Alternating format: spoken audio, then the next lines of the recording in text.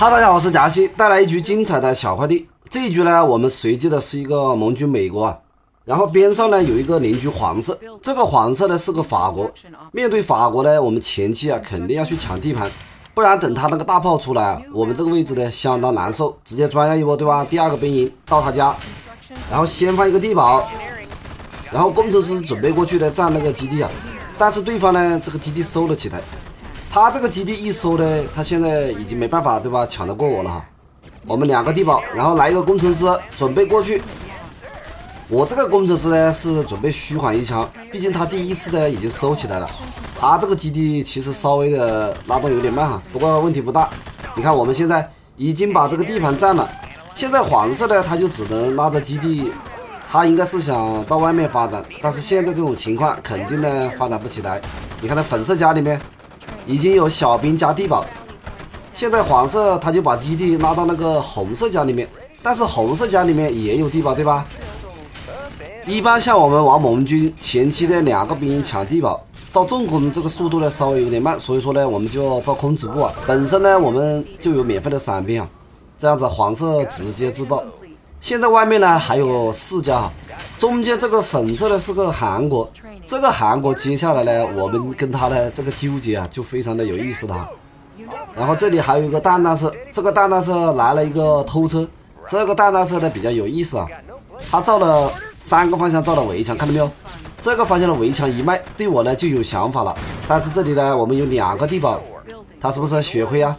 这个蛋蛋车既然对我有想法，那我们直接用飞行兵过去。你看我现在这个发展已经有三个牛车采矿了。再加上呢，有两个油井，所以说这个蛋蛋是打我呢，他惹我肯定是占不到便宜啊。毕竟我们有免费的伞兵，再加上呢还可以造光灵棒哈。目前呢我们有三个飞行兵，中间这个粉色的他只有两个。看到他造的那个飞机呢，我就情不自禁的想过去整他哈。先用飞行兵打掉他的飞行兵，然后上面小兵一蹲。不过这个粉色造的这个爱国者，我们赶快后退。上面那个小兵的话呢，也被那个坦克压了，但是这样子我们是赚了。你看地堡一放，打掉坦克。可能有些朋友呢看到这里，他就会说：“喜哥，你干嘛不一心一意先把这个蛋蛋色整掉，然后再去打这个粉色呢？”其实熟悉我的朋友呢都知道，对吧？我们特别喜欢劝架，尤其是一打二，对吧？这样子显得刺激啊，大家看上去呢也是比较有意思啊。注意看这个蛋蛋色，他直接在我家里面耍了一个船厂。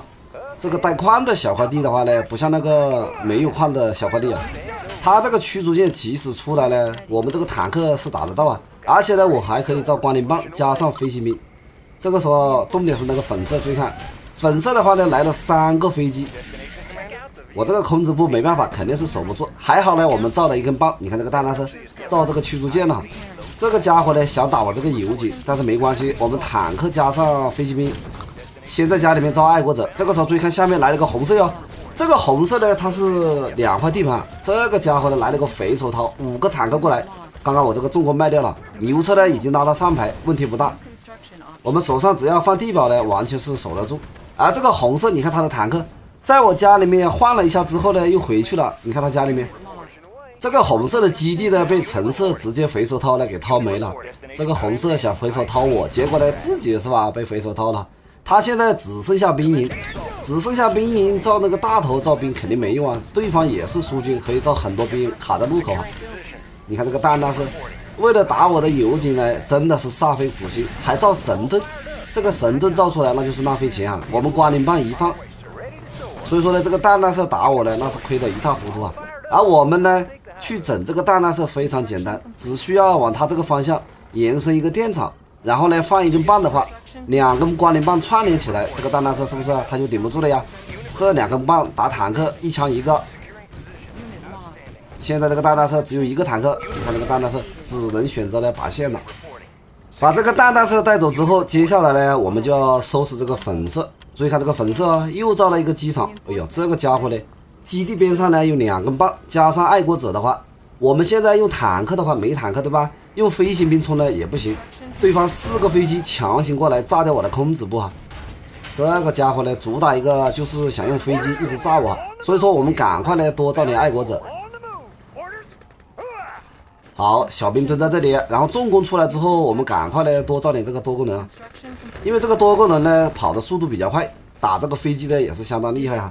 对方肯定在造第五个飞机，然后我们补一个电厂，直接一个爱国者，看没有？怼到他家里面去啊！这样子他那个飞机起飞呢就占不到什么便宜哈。对方有三个小兵，我们多功能过来打掉这个小兵，然后我们再造一个空子部。待会这个伞兵多了呢，完全可以无视这两根棒啊！目前这个小兵还是有点少，对方拿飞机强行过来，你看一换一，我们是赚的。我们这个经济呢比那个粉色好太多，我有四个牛车，两个油井。下面这个红色疯狂的造兵，但是你看这个橙色，他造了一些动员兵呢，守在这个路口的话，这个红色的肯定是冲不过去。注意看这个粉色，这个粉色的还挺会玩的。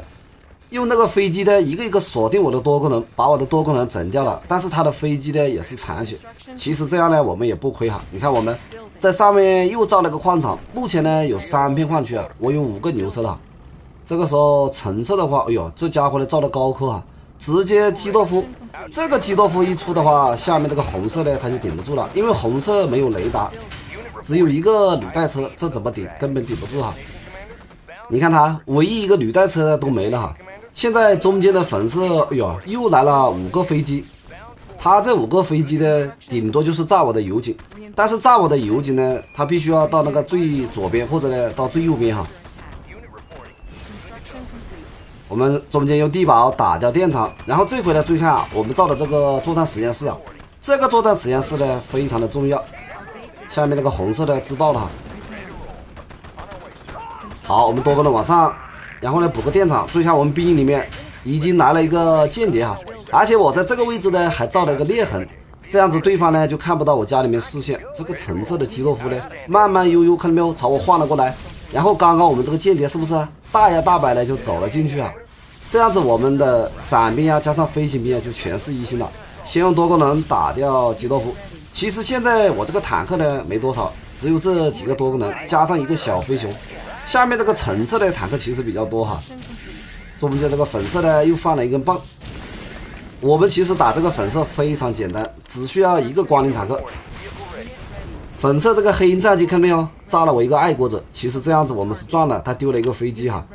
现在我们重点呢就是要防这个橙色，因为橙色的坦克呢有点多，主要呢它有高科。这一局呢还可以造那个铁木装置哈。现在你看我们这个光灵坦克一出，直接戳一戳。他想炸我，光灵坦克往后一退，然后再把光灵坦克往前。现在我们在兵营里面疯狂的造那个一星飞行兵哈，因为下面橙色的坦克比较多，我们必须呢用这个飞行兵来防守。这个时候粉色的黑鹰战机看没有，强行过来了想炸我的油井，而且这个粉色的非常有意思啊，他炸完我的油井之后，看没有，直接自爆了。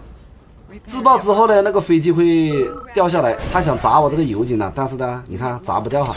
啊，这回注意看橙色，橙色直接，哎呦，来了这个导弹船，而且他在上面那个水坑里面呢，也造了个船厂。这个家伙想用无畏战舰呢把我夷平哈，但是没关系，对吧？你造了船厂，我也造。对方呢又来了个无畏战舰，我们赶快用飞行兵强行过去呢，给他锁定。不过这个无畏战舰的子弹还是可以啊，把我那个油井整掉了。这个呢问题也不大，因为我们已经造了一个船厂在上面，只需要造几个海豚呢就可以了哈。然后我们重工里面看到没有，有一些坦克。下面我们刚刚放了一波闪兵啊，现在橙色的坦克被我那个闪兵的看没有注意力全部吸引走了，而我们这个小飞熊直接绕过去，先点掉这个海螺，然后海豚呢打掉船厂。对方这个坦克想从中间绕过来哈，而我们你看飞行兵跑到下排。小飞熊赶快跑到家里面，这个家伙呢用无畏战舰一直在炸我哈。他这个坦克呢也是不敢硬冲啊，因为我们每块地盘呢都有很多小兵，还有光灵棒。主要呢是这个一星的飞行兵啊相当厉害。对方在上面呢又造了个无畏战舰，一个无畏战舰要两千块钱啊，我们赶快卖掉这个建筑，然后海豚打掉无畏。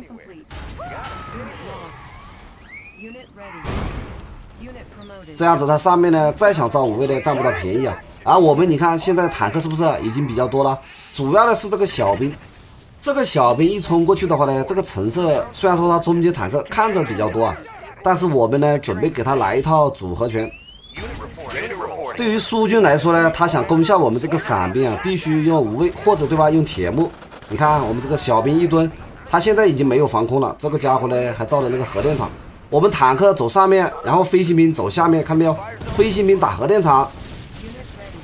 好，坦克先过去拆掉一个兵营。对方这个坦克过来防守呢，我们就退到中间。注意看啊，对方造了这个铁幕，对吧？但是呢，这个核电厂一丢，现在这个铁幕呢就是一个摆设。而我们呢，不要给他机会，继续往前，小兵往前，然后坦克在后。这个小兵一蹲，注意看对方的坦克是不是瞬间就凌乱了？这个小快递呢就是这样子，这个坦克走着走着呢就容易分叉，而我们飞行兵直接过去打掉铁幕，然后坦克冲过去吃掉坦克，再打掉重工。现在他的防空呢就只有这几个履带车，看到没有？直接没了。现在橙色防空呢就只有几个管子兵。我们先把这个电厂整掉，然后小飞熊过去压掉油里，然后压掉管子兵，飞行兵疯狂输出，这样子橙色是不是他就没了？好，再打掉兵营，再打掉基地，然后坦克冲过去点掉这个海螺，这样子呢，橙色只能选择你的盒饭下线。好，这一期视频呢就到这，我们下期再见，拜拜。